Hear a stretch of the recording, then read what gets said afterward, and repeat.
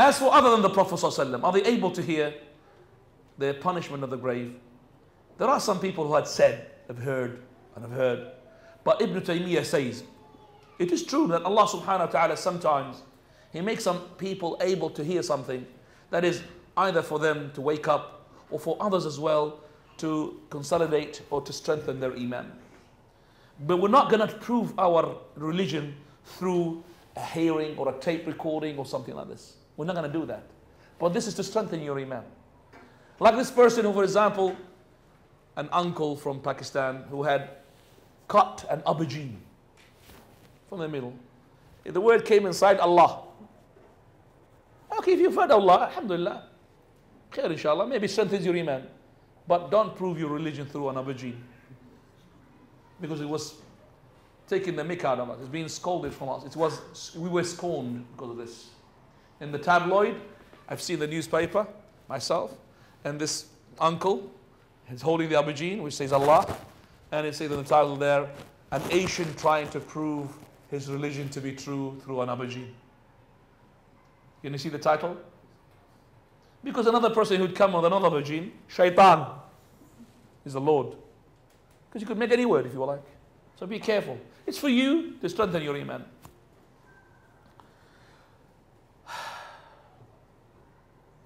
Shaykh al-Islam Taymiyyah, he says, we have heard that some of the, or we knew that some of the scholars had, some of them had heard that this, the, the punishment of the grave was able to be heard from some people.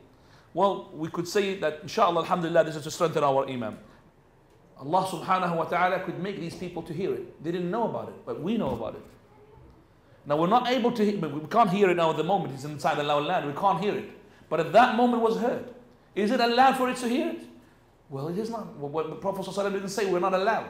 But the Prophet ﷺ, he had said, Wallahi, had it been that you will not bury one another, I would have made a supplication to Allah so you could be able to what? To hear it. Now, what happens when you hear such a thing? What should happen to you? Two things the, the fear, and you should be happy. Why should be happy?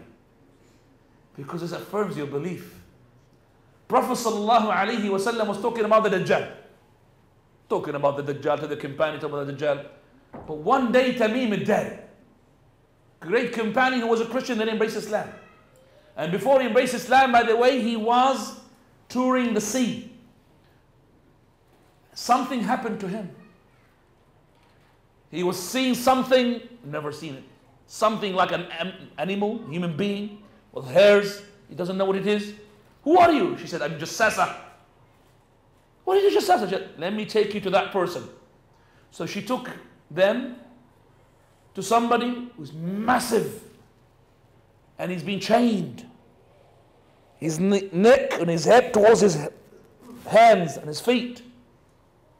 And this person is huge. They asked him, Who are you? He said, Before I say to thee, can I just ask you the following question? Is that person was sent to the Arab? Talking about the Prophet Muhammad. He said, Yes. Did the Baysan, Baysan is a place in, uh, in, in, in, in Palestine, Palestine. Did the Baysan orchards start giving fruit? Said, About to. Not yet. Did they lose the fruits? He said, Not yet. Did the Tabariya Tigris, Tigris water is still there? He said, Yes, there is still, still water. He said, Verily, the Baisan orchard is almost about to finish and cease to give their fruits. And verily, the Tigris water is about is almost about to get dry. Who's that person? The Dajjal. They came to the Prophet ﷺ when they embraced Islam and they told him what happened to them day before they embraced Islam. Prophet of Allah, when he was he prostrated to Allah and he was so happy. And then he came to the mosque addressing the people, not in Jumu'ah, normal day.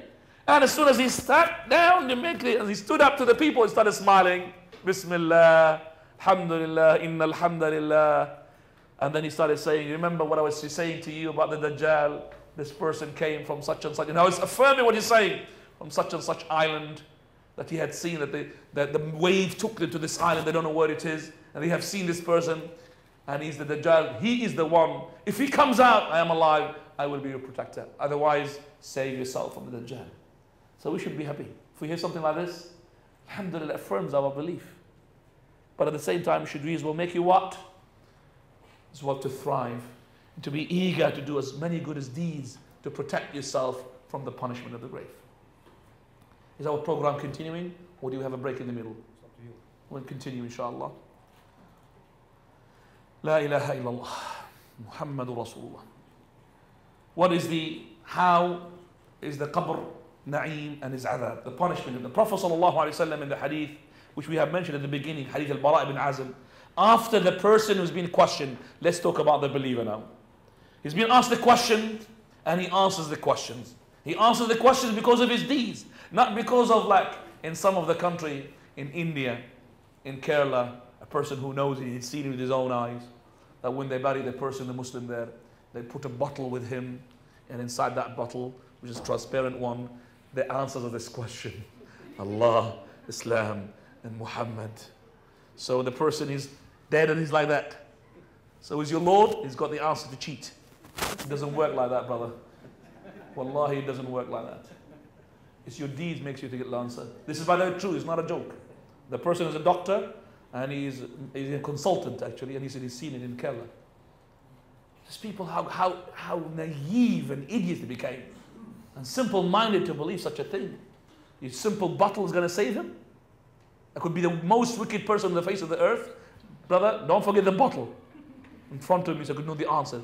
Well, you don't need bottles now. They don't know about the technology. Could put them what? An earpiece here with Bluetooth give him the answers as well.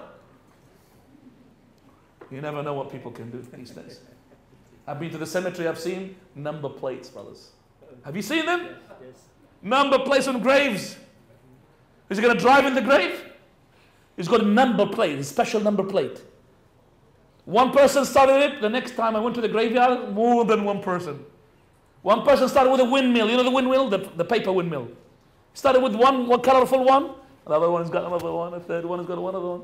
I come to the regularly to the graveyard for burial, and I, every time I come, something's new. Number place, wallahi, this is something, subhanallah, I couldn't believe it. Number place. Number place, Sheikh. Number place on the grave. And they're screwed Making sure. So you're going to be as a driver. Is that how the way to save yourself from the fire? Prophet ﷺ, he said, Yunadi munadi min as-sama, a caller will be calling in the skies, in the heavens. And sadaqa abdi, my slave had told the truth. When he said, my Lord is Allah, my Prophet is Muhammad, and my religion is Islam. Allah would call and say, فَأَفْرِشُوهُ مِنَ الْجَنَّةِ Give him his dwelling in paradise. And albisuhu min al-jannah. Give him his clothes from paradise. Waftahu lahu babam ila al-jannah. And open a opening, a gate for him to paradise. Then as soon as that gate opens, from paradise the smell, the fragrance comes. And his grave will be enlarged, will be expanded, it will become a mansion. And from it there will be a person who is nice face, nice clothes nice smell. He would say, Have a glad tiding. This is your day. Have a glad tiding of the pleasure of Allah. And rivers and paradise to dwell in there forever. This is your day. This is the day you've been promised. The person would say to him, And you are, may Allah give you glad tidings. Who are you? He said, I am your righteous good deed. Verily, I always knew you that you'd been very fast in obeying Allah, very slow in disobeying Allah. May Allah reward you khaira. Then it will be opening for him a door to paradise, a door to the hellfire it will be said to him and made him to look at the hellfire door and they will see his seat there. He said, This is your seat if you had disobeyed Allah. But Allah had exchanged that for seat for you for that seat in paradise. As soon as he sees paradise, he will say, Oh Lord, make the day of resurrection to be fast so I could go back to my family and my wealth. Allah would say to him, Uskun, stay still. It's not yet time. What about the other journey? The other journey, the Prophet ﷺ talked about the disbeliever. And he said, sorry, my bad. The disbeliever, the corrupt, he would give bad answers. A call in the heaven, he would say, he had told the falsehood, he had lied. So it would be called, give him his place in hellfire. And open a gate for him, a window for him in the hellfire. So some of the heat, some of the poison some of the pus comes